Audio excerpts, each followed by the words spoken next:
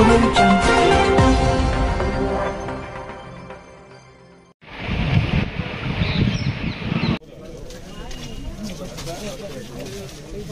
పెద్దాయన, నా పెద్దాయన. అమ్మా నమస్తే అమ్మా అమ్మా నమస్తే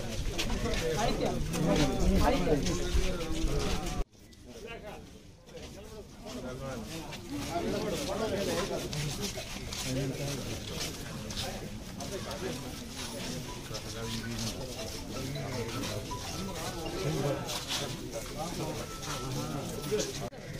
ಪ್ರತಿಯೆಲ್ಲ ಇಂದಿನ ಅರ್ಗದಲ್ಲಿ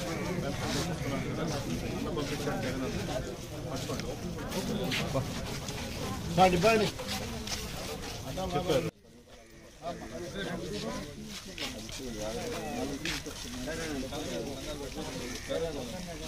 ಅಂತ ಕಾರಣ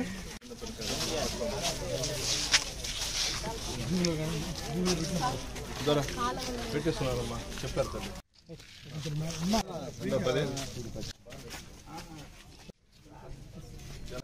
ఒకసారి నేను మాట్లాడతాను.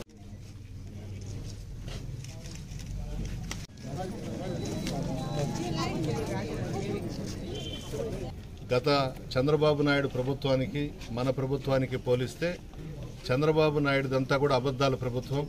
మోసం చేసి అందరినీ కూడా మోసగించి మోసపూరితమైనటువంటి వాగ్దానాలు చేసి అధికారంలోకి వచ్చిన తర్వాత ప్రజలను రాష్ట్రాన్ని పూర్తిగా విస్మరించినటువంటి వ్యక్తి చంద్రబాబు.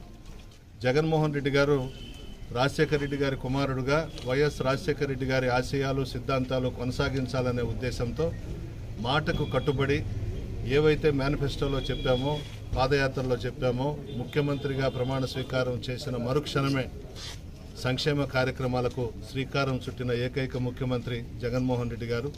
ఆయన నాయకత్వంలో భారతదేశంలోనే రాష్ట్రం ముందంజలో ఉంది.